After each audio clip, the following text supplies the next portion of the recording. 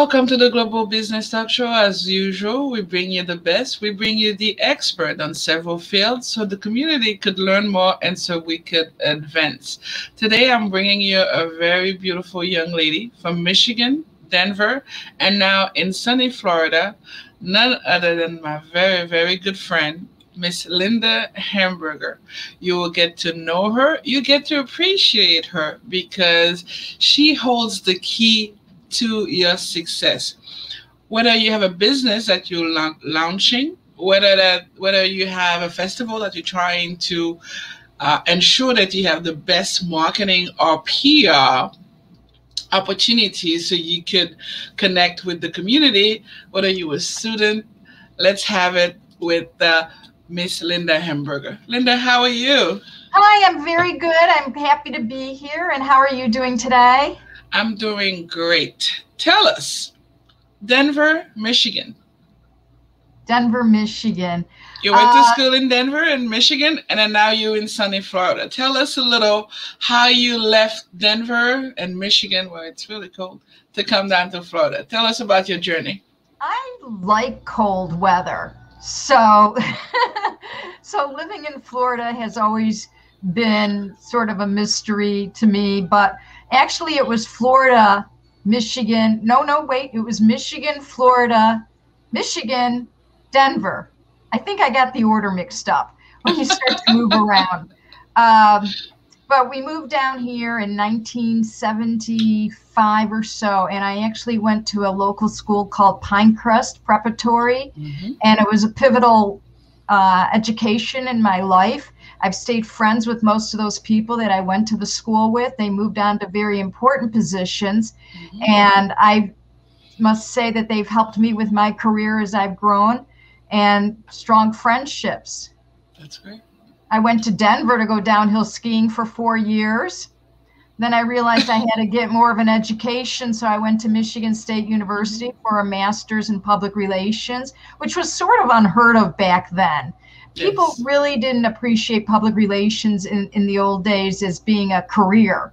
Uh, so it was advertising or marketing. And so for many years, I actually told people that I had gotten my degree in advertising rather than public relations. Mm-hmm. Very different today. Yes. And then I went to Florida Atlantic University for a master's in public administration where they paid me salary and tuition. It was the first year of the urban and regional planning department. Mm-hmm. So I had been working for the uh, Delray Beach Community Redevelopment Agency and Downtown Development Authority.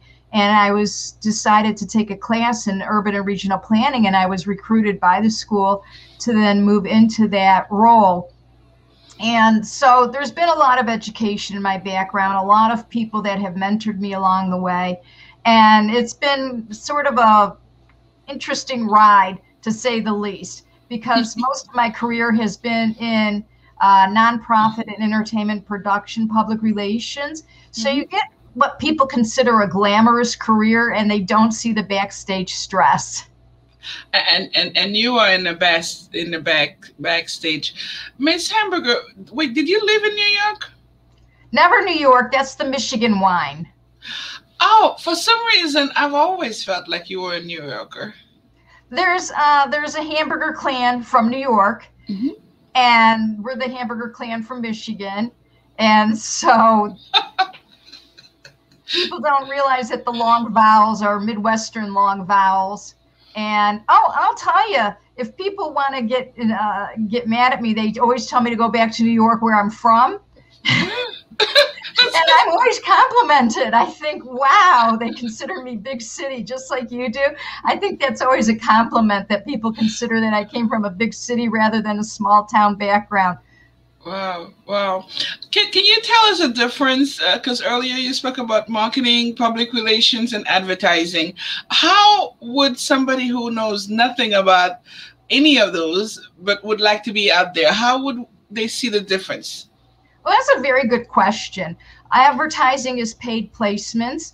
So you have control over what people see. You're buying space and time in something, and you have time to produce it and then pick where you're going to have people see it, how they're going to see it, and uh, and such as that. You have a lot more control. Marketing is the bigger picture of marketing is the bigger picture of promoting businesses on all different levels price, product, place, promotion.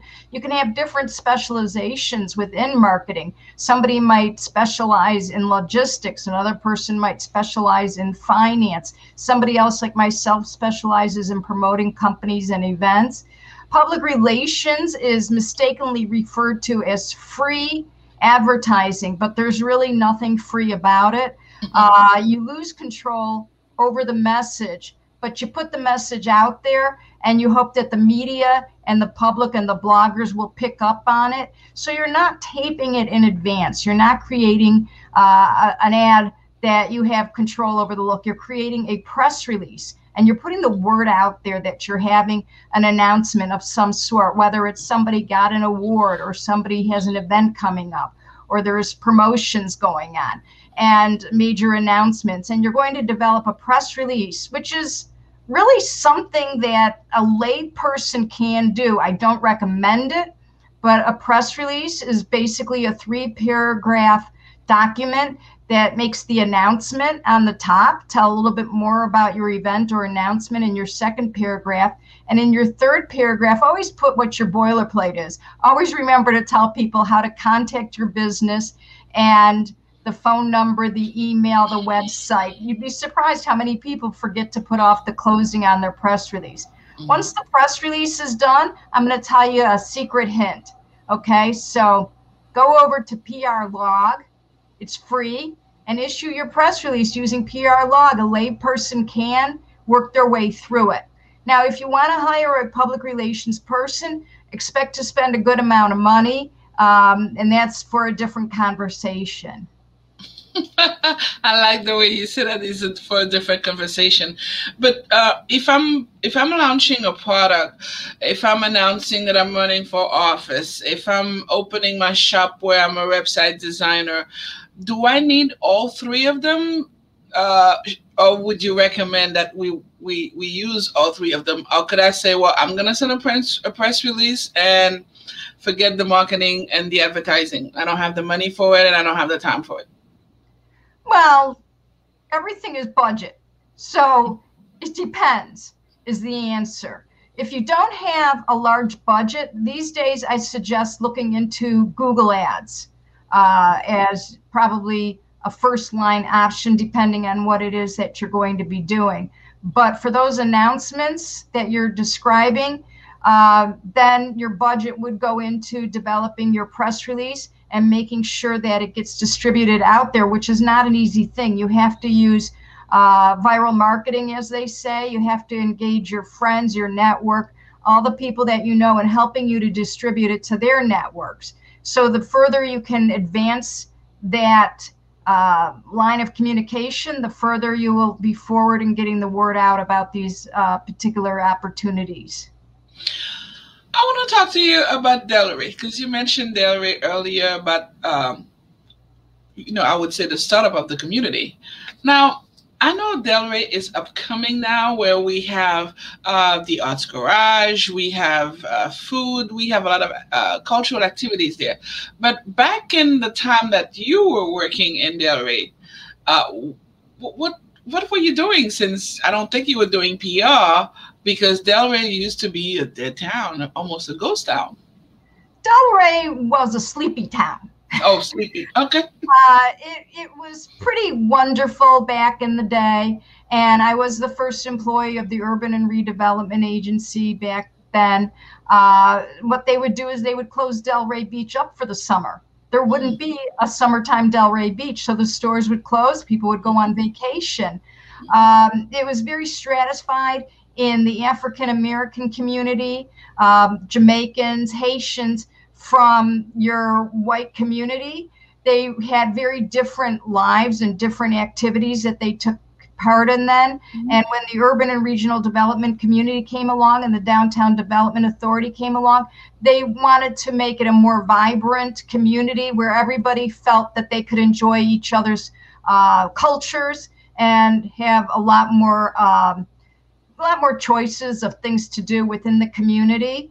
So that was part of the role in getting the Downtown Development Agency and the Urban and Regional Development Authority working. Um, but I can tell you some stories back in the day. It wasn't unusual that we had an open bar and people were smoking cigarettes. So I don't want to give away my age, but it was a very different time. But we're talking what year now? Uh, in the 80s? Um, yeah, that would have been in the early 80s. So, what, no, I lied. That would have been in the late 80s, 89. 89, okay the point that I was trying to make is that this organization was probably planning what we're having now as a boom. Because if Delray is as beautiful, it didn't happen overnight. So my point is that those things are being planned 20, maybe 30 years in advance in order for us to have, uh, uh, I don't know, a nice Delray. They had a wonderful fella. He was on the beat back then, Jeff Perlman, and he was the reporter for the Monday, Friday papers. And so he got to know the community in depth, and eventually he became mayor. And then eventually, under his tutelage and all the people that worked there, it became one of the All American cities. So there was just um, a whole lot of fun seeing how it uh, grew and developed into something that you see today from a town that used to close for the summers. The um, the Chamber of Commerce, the folks mm-hmm. would head over to Naples and they would deliberately go over there and try to recruit stores from the West Coast and try to get kind of that West Coast vibe into our East Coast area. Mm. Mm. West Coast vibe. I like that. The West Coast vibe into the East Coast area. You you've done several things. Um, I met you through Chamber's event, and earlier when you were talking uh, about the Chamber, you were talking about the Delray Chamber, which is very uh, big still in Delray, and they control a lot of activities. Um, you've done festival. Tell me, um, through your journey, what is it that you enjoy doing the most? Because I'm going to talk later on about other things that I know that you do there's a lot to enjoy about what I do, but it's not just that I promote the events. I get to go to the events. And so that's the part I enjoy the most. I've met plenty of celebrities. I've enjoyed lots of entertainment. Um, you know, had lots of opportunities to dress up and meet VIPs. So, quite honestly, when I started out in public relations, I just could not believe I had a job where I could was paid to go hit the bar and eat the free food. Um, as I got older, of course, and matured more into the job, I realized it wasn't just about going to the bar and eating the free food. And I've developed many wonderful contacts through the years, including you at the Lauderhill Regional Chamber of Commerce events. Yes. And one of the events that, that I personally enjoyed so very much, and I know that you spearhead, and it was a very huge project. It was the Chinese Festival. Can you tell us a little about that? Oh yes, the Chinese Lantern Festival. There was two of them. One was in Palm Beach County and one was in Broward County, and each festival lasted for 6 weeks. So it was the longest festival that both counties had ever hosted in their uh, history actually and it took a tremendous amount of logistics to put this event together. It was over at the was it the Lauderhill Regional Park? Can you help me remember yes. the name of the venue? Yes, that that is the Lauderhill Regional Park, and, and it was just so awesome. Uh, I've, I've I've not I have not known you for twenty or thirty years, but knowing that you were and and well, I would say in the back of everything that was happening from the project coming to life to the history, the culture. Um, I remember seeing those lanterns on the lake. It was awesome. There was tremendous community support for that particular event. So we had a wonderful team that helped support us from Commissioner Holness's office. We had people from the Convention and Visitors Bureau, CVB. We had the Lauderhill Regional Chamber of Commerce team helping us put this together. And oh, Lord knows I probably left some other people out, but we had tremendous community support. Uh, we were given special prices on things like the billboards and some of the advertisement placements. And so there was a lot of coming together. And certainly I like to take the credit, but I can't take all the credit. Something like that required graphic designers, people to work on the website. Uh, doing press releases. But then I wore many hats, and I remember even having to order up uh, some bridges to go across the lake there at the park. Yes. Uh, so there were some interesting things that I never thought in my career I would be tasked with doing. Uh, even determining how to get the ticket sales going and what would be the best platform for that. So a lot of exciting aspects to that particular event. And the other, um, I would say, the other field where I feel very comfortable finding you is uh, education. Pardon me, I didn't I didn't hear that. I said the other field that I enjoy watching you evolve in is education. So you also a, an adjunct teacher, and, and I love being in your class, and I love seeing you teach because of the way that you present. Uh, the subjects uh, to the, the, to the students. So you teach marketing at, at, at a local university. Do you enjoy teaching? Yes, one of my most satisfying um, things in my career is having become an adjunct marketing professor. Mm-hmm. Presently, I'm at Nova Southeast University, and I teach different courses in marketing, such as sales, introduction to marketing, consumer behavior. Working with young people is a real passion of mine, and helping to mentor them along, having unbelievable guest speakers come in for the young people. Um, it's something that I'll tell you the truth. There was a point in my career where I felt some frustration. I felt that I'd hit that glass. Plateau. I don't know if they use the expression the glass ceiling as much anymore, but I felt that I hit that plateau and I was frustrated. And I said to myself, there must be something else I can do with my two master's degrees. And so I saw an ad back then in the newspaper. Yeah, we had newspapers. And I saw an ad that it was uh, for a teacher at a local college. And I went over there and interviewed just like I would for a job. And the first day I got up in front of a classroom of students, I thought I was going to be sick. and now, of course, I just love it.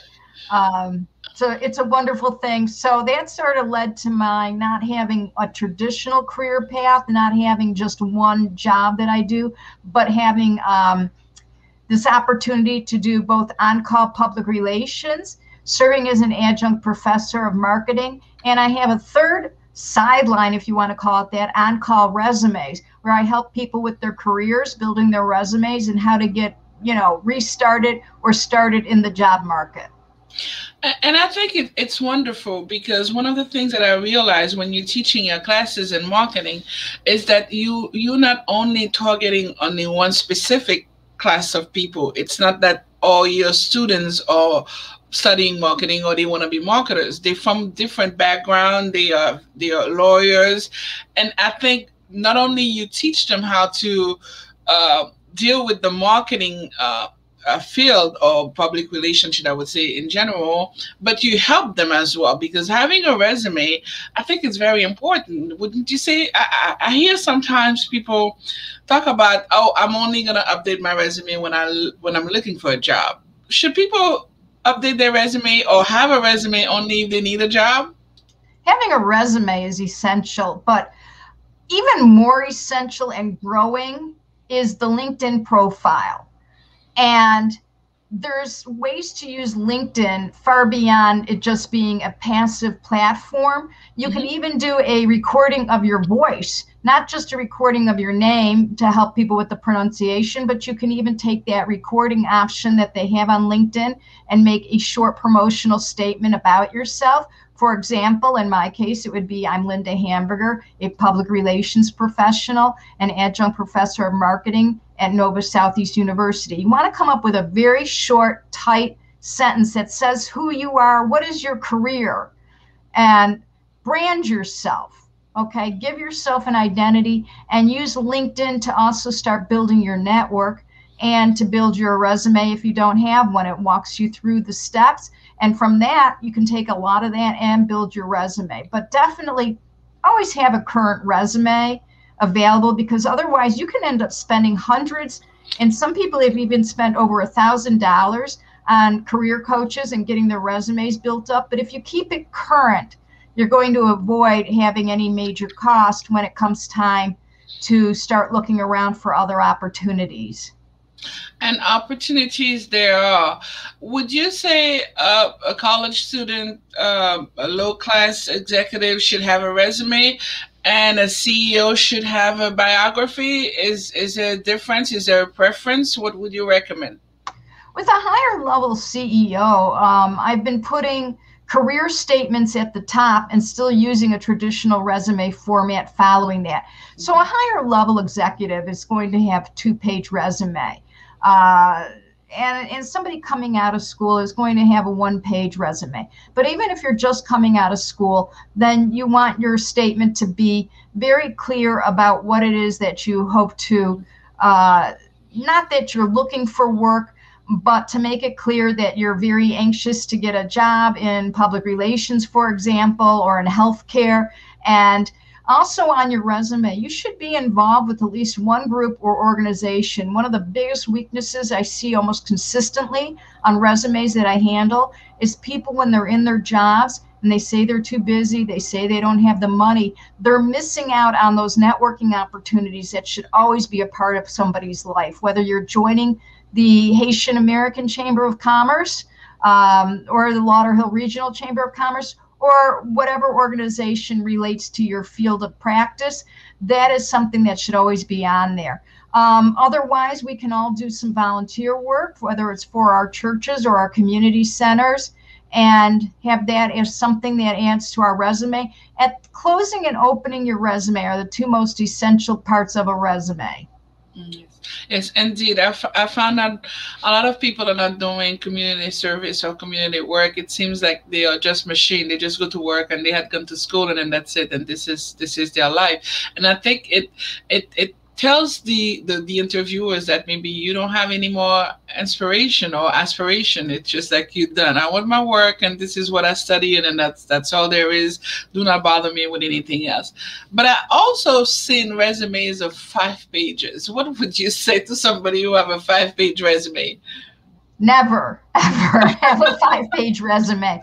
Have a two page resume and then have an addendum um, if you really need to list all your achievements, then have an addendum page, but you really should keep that resume to two pages. I have somebody right now that I'm personally having some challenges with because she's had a very, very high level political career. She's worked in many realms of politics and she's had tremendous achievements in all those positions.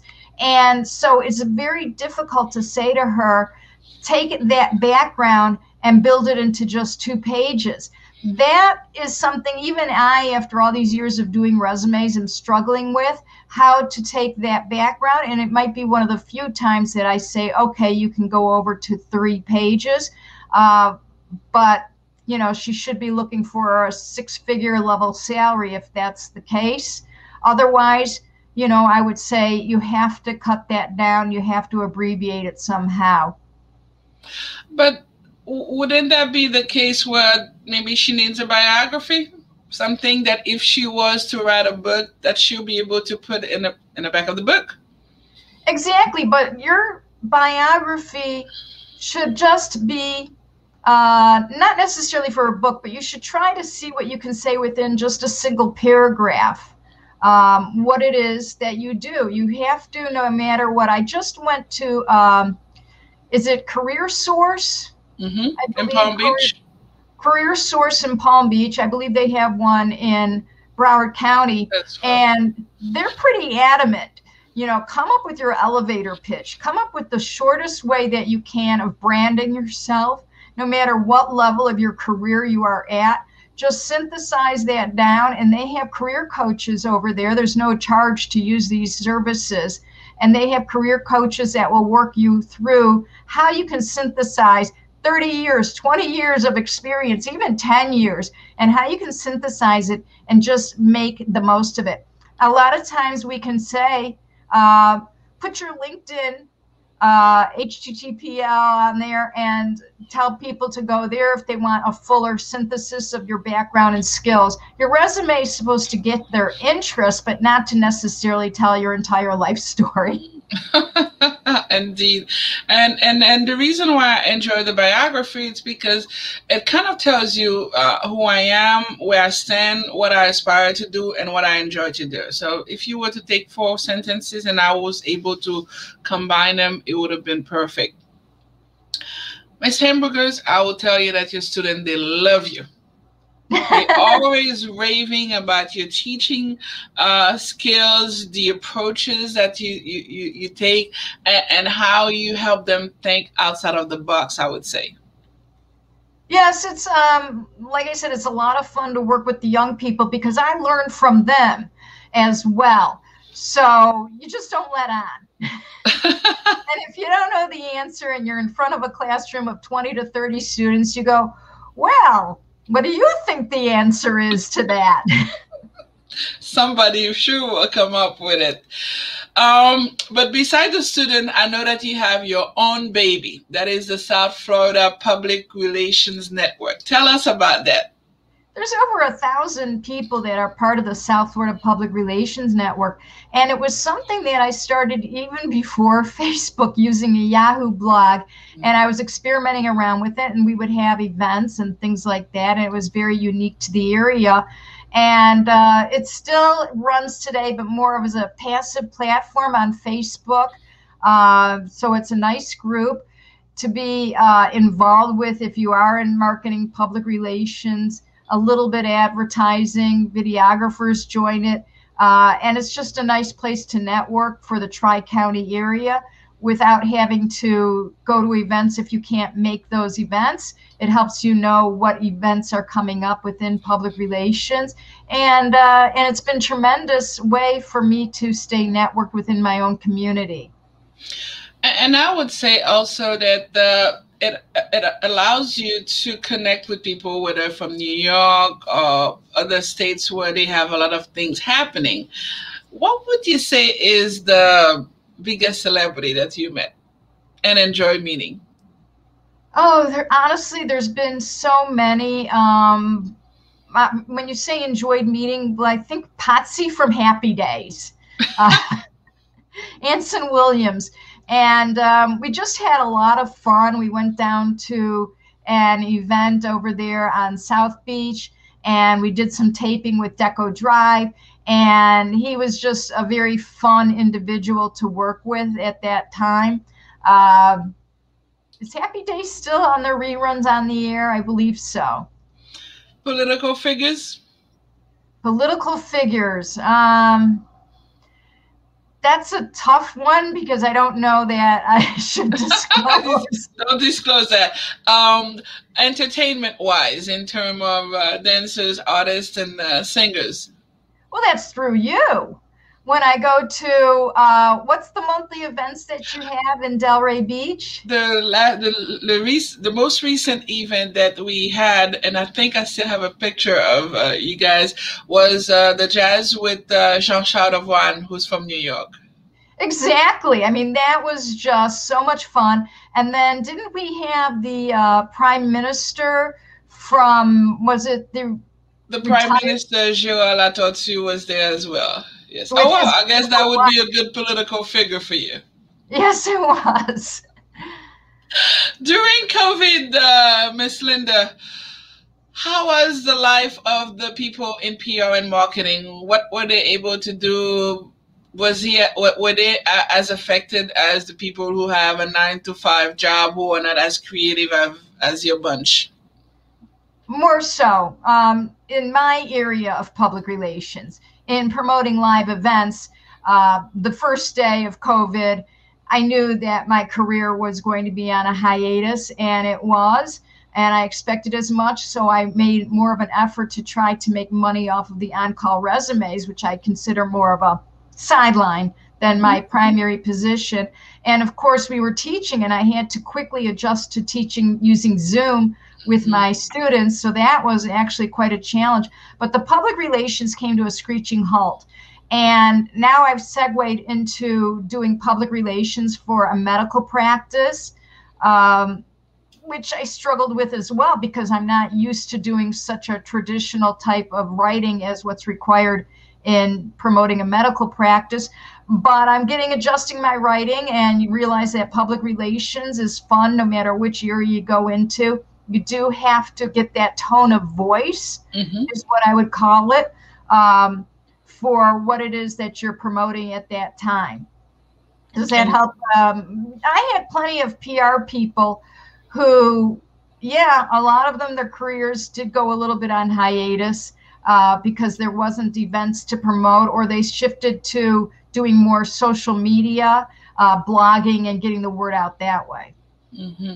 Do you have any event coming up through the uh, uh, to the network, the South Florida Public Relation Network? That uh, I, I, I think that part of the network is that people could join. They could they could pay and, and join the, the network. South Florida Public Relations Network was more of a volunteer. You don't have to pay money, and that was its what its precedent was back when it started up. Um, and it was an umbrella for people who wanted to be involved, whether they were in the Public Relations Society of America, the American Marketing Association, the Advertising Federation, Women in Communications. So it was sort of just providing a uh, a meeting place for all these different types of organizations without superseding them. So if somebody really wants to get involved in public relations, I'm going to steer them to the Public Relations Society of America. PRSA is the uh, acronym for it. Um, there's also the Gold Coast Public Relations Council, GCPRC, I believe. That's up in Boca Raton. And so if somebody wants to get out and get to professional events, I'm going to tell them also look at the American Marketing Association. Mine has really segued, like I said, more into uh, Facebook group than going out and having actual events of its own. Okay, okay.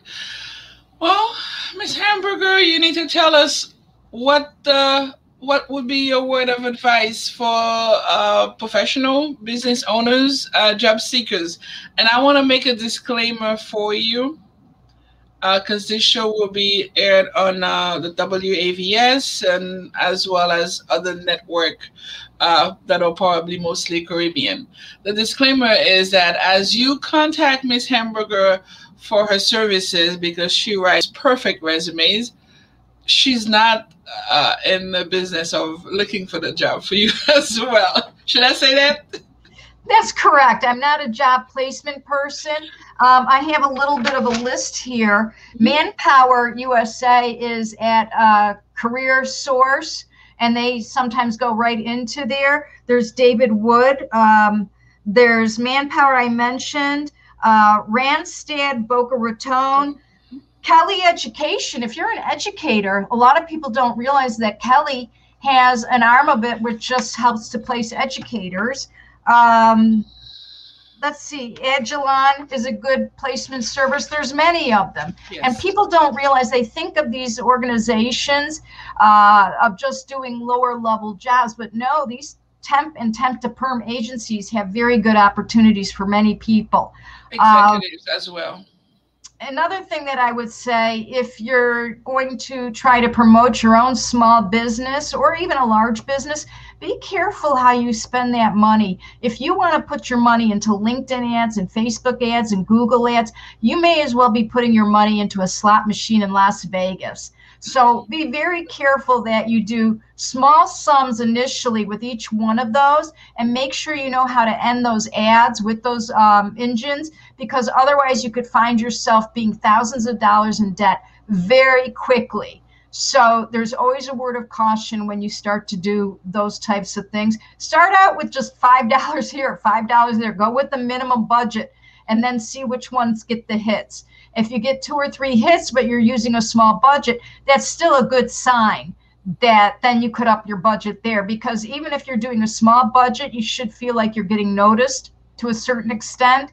Does that make sense to you, what I'm saying? That makes perfect perfect sense because here at the Global Business Talk Show, we often tell people you could do nothing, you could learn how to do it, and as you say, you if you're learning how to do it, you do it with caution, or you could pay somebody who could do it for you, but that person will also have to give you some guarantees as well. So I think it's it's a perfect word of advice for people who are going into the business. Now, as far as the resume, your company on on um, on call PR will help them with the resumes. And I'm going to give out the, your phone number, which is 561 372 9691. 561 372 9691. You call Miss Hamburger, she'll talk to you about getting your resume done, of course, for, for, for a fee. I know that she is a wonderful lady, and then she'll mention about all those uh, organizations that could help you get a job, but she herself is not gonna be the one looking to place you uh, with with your job uh, seeking uh, problem. Am I right? Exactly. I do a lot of formatting for resumes. People do their resumes and then they realize they don't look their best. So mm-hmm. even if they have tremendous content and they have a background that can just, you're like, wow, I can't believe this person and what a great background they are. But they're hiding it and they're not presenting it in the best look possible. So one of the things that I do is also help format the resumes to make sure that they look their best possible, like putting on your finest dress or your best suit. That's what you want for your resume. Um, and you want to make sure that you're highlighting the right bullet points. That's very important because people will take only a few moments to glance at what you're doing. Same thing with a press release. You want to make sure that you're highlighting the most important bullet points and not trying to put everything into the document.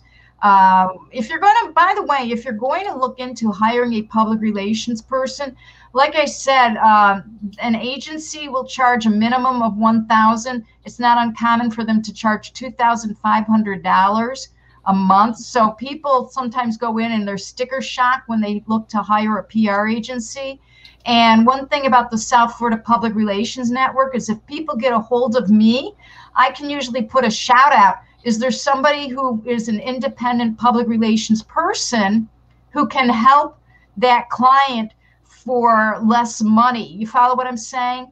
Because mm-hmm. the network is made up of individuals, not as much agencies. And so there's a lot of freelance people out there who might be more affordable. Perfect, perfect.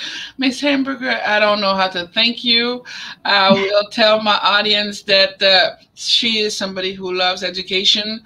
Uh, she does what she preaches. Uh, we did not get into that, but when she said that you need to be um, helping or volunteering in, with an organization, back in the days, you volunteer for the National Alliance on Mental uh, on Mental Illness in Broward County to help you know, remove the stigma for mental illness and people having a quality of life. So she does, she breathes it, she does it. She makes perfect resume. She's a guru when it comes to public relationships. She helps with marketing. You've heard her, festivals, uh, celebrities, entertainment. Um, we'll forget about the political people. but, but uh, and then she enjoy her students at the at the college where she where she teaches. Uh, you are awesome, and and and I love you very very very much, and I'm and I'm honored to be uh, counted among your friends. And same here for you. it's a wonderful, warm friendship that we've developed through the years. Yes. And I have a lot of admiration going your direction as well. And I was thrilled to be on your show. So yes. hopefully, I've given some good, helpful tips and advice that people can take a look at. Um, again, if you want to win your own public relations, uh, my helpful hint was PRLog. I give you a wink. they know what that means. okay. Uh, so that you know that um, a lot of other folks are not familiar with that tool, but it's something you should visit as soon as we log off the show if you want to start promoting yourself using public relations techniques. Thank you. Thank you so much for being on a Global Business Talk Show. We hope to have you again soon, and we hope to be able to share bread. Uh, I don't know, soon when the pandemic is over. okay, very good. Very good. Thanks for having me. All Thank right. Bye bye.